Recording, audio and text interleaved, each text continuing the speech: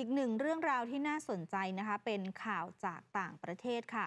สหรัฐผ่านร่างกฎหมาย 4 ฉบับ ช่วยยูเครน อิสราเอล ไต้หวัน และแบน TikTok สหรัฐผ่านร่างกฎหมายสำคัญ 4 ฉบับมูลค่า 9,500 ล้านดอลลาร์สหรัฐ เพื่อช่วยเหลือด้านการทหารแก่ยูเครน อิสราเอล ไต้หวัน และแบน TikTok นะคะ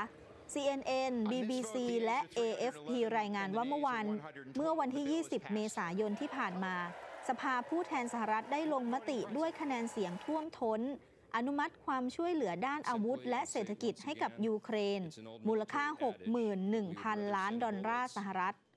ซึ่งหลังจากที่รัฐบาลประธานาธิบดีโจไบเดนได้พยายามผลักดัน และหว่านล้อมพรรครีพับลิกันมานานหลายเดือน ภายใต้แรงกดดันจากบรรดาชาติพันธมิตรบรรดาชาติพันธมิตร และเสียงเรียกร้องของผู้นำยูเครน ทางด้านประธานาธิบดีโวโลดิเมียเซเลนสกี้ของยูเครนก็ออกมาขานรับมตินี้โดยทันที และกล่าวว่างบช่วยเหลือก้อนนี้ จะสามารถช่วยเหลือชาวยูเครนนับหมื่นชีวิต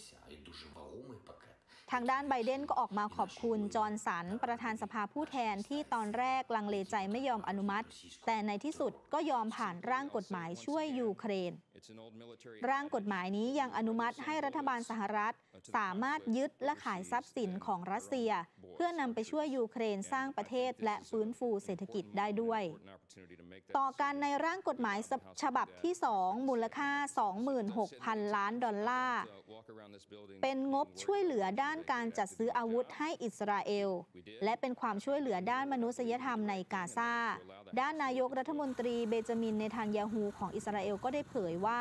งบส่วนนี้จะนำไปใช้เสริมความแข็งแกร่ง ให้กับระบบป้องกันภัยทางอากาศ หรือไอรอนโดมต่อไป ส่วนร่างกฎหมายฉบับที่ 3 มูลค่า